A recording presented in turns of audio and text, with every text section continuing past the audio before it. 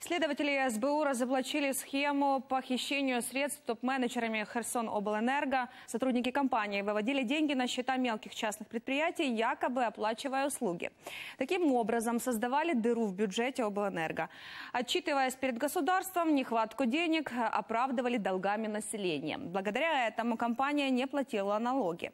Сумма долга постоянно росла. На это обратили внимание спецслужбы. В СБУ открыли уголовное производство. В офисах Херсоноблэнерго провели обыски. Изъяты документы, которые обнажили всю схему. Сейчас следователи выясняют, действовали ли топ-менеджеры, топ-менеджеры компании по указанию собственников. Херсоноблэнерго принадлежит российской компании VS «Energy».